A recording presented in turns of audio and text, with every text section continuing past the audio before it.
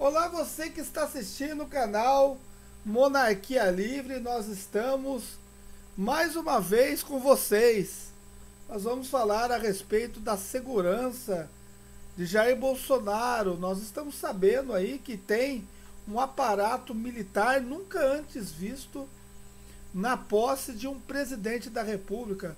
Chega até mesmo a superar a posse de Donald Trump. Realmente o cuidado de não matarem Bolsonaro é extremamente elevado.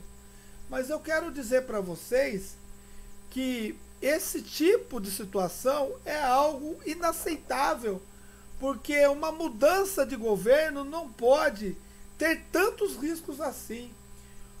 Uma pessoa que represente o povo não pode ter tantos riscos de morrer. E por que isso acontece? Porque na República é dessa forma. A pessoa que toma o poder chega a ser odiada a ponto das pessoas quererem matar, quererem levar alguma vantagem com a morte dele. Então, você vê em repúblicas esse tipo de situação. A pessoa sendo aparada por todos os lados e tendo um forte esquema de segurança nem guarda-chuva as pessoas podem levar. Se chover, vai chover nelas e não há como ser diferente, porque até mesmo guarda-chuva é perigoso para a segurança de Bolsonaro. Pode ter uma pessoa com uma arma ali, pode usar o guarda-chuva de repente como uma arma, porque tem até mesmo armas que têm formato de guarda-chuva, por exemplo. Veja que para chegar ali no local da cerimônia é preciso passar por quatro revistas. Veja o absurdo que acaba acontecendo. Tudo isso porque a República é uma praça de negócios e realmente a sociedade está rachada. O Brasil está completamente rachado e não será um presidente da República que vai unir essa nação. Por que, que não vai ser? Porque um presidente nunca vai representar um povo, somente vai representar os seus eleitores. É isso que todo mundo posta lá no Facebook. Um abraço aos meus eleitores. Os meus eleitores, os eleitores, não são o povo, mas sim é, não é o povo, mas sim os eleitores. É algo realmente inaceitável para uma nação que pretende ser um país desenvolvido. Uma parafernália de segurança e de insegurança.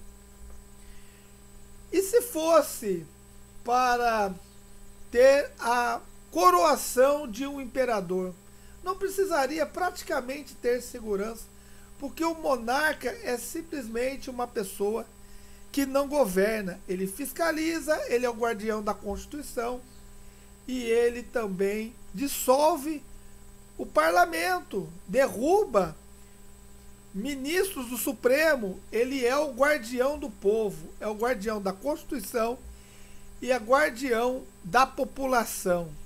Ele é amado pela população, porque a população vai com certeza tê-lo como uma pessoa confiável, uma pessoa que luta por todos.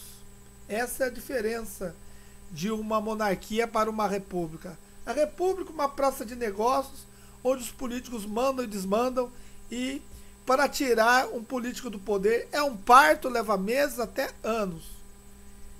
Já a monarquia, um governo extremamente ágil, rápido, e que resolve as coisas numa simples canetada.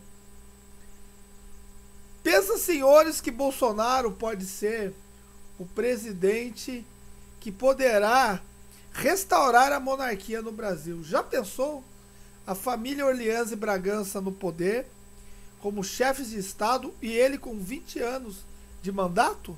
Seria o melhor dos mundos. Assim nós iremos lutar para que isso aconteça.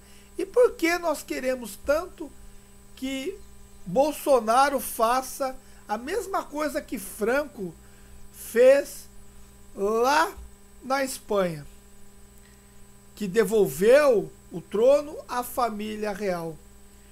Porque a monarquia é exatamente essa proteção contra os políticos e contra decisões erradas do próprio povo. Às vezes o povo vota errado, esse político trai a nação, ele toma conta de tudo e escraviza o próprio povo. Com o monarca, isso não acontece. Inclusive na Constituição, impede de ele exercer qualquer papel em um partido político ou mesmo em algum grupo de influência. A família reinante, ela é sempre regulada pela Constituição. E também o monarca pode cair. Se ele for realmente um louco e realmente ele perder demais o apoio populacional, ele é substituído pelo seu sucessor. Simples assim de uma simplicidade muito grande resolver crises em uma monarquia. E na República não, é sempre uma tensão, uma coisa realmente inaceitável.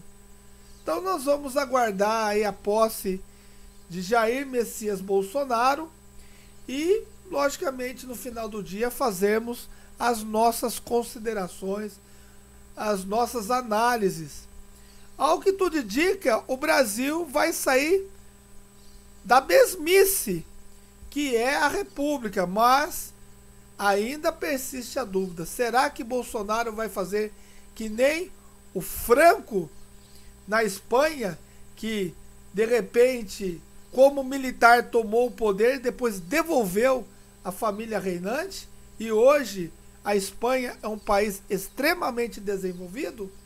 Será que Bolsonaro vai representar o exército que deu golpe na família imperial, que tirou a família imperial sem qualquer motivo, sem plebiscito, sem nada, durante a madrugada e de repente entra um militar e devolve o poder à família reinante? Isso é que nós saberemos. Mas pode estar certo disso que a família imperial brasileira estará de uma certa forma, torcendo pelo Brasil e tem um membro que não é dinástico no governo, que é exatamente o príncipe Luiz Felipe. Ele não tem direito ao trono brasileiro, mas ele tem uma missão especial diferente de qualquer deputado. Ele é o guardião da nova Constituição que vem aí. E o príncipe Luiz Felipe tem uma única missão: conseguir aprovar a nova Constituição e estabelecer a data de um novo plebiscito. E aí sim, com uma nova Constituição e a monarquia de volta, o Brasil vai ser gigante. Acredite nessa ideia, compre essa ideia e vamos juntos mudar a nação brasileira.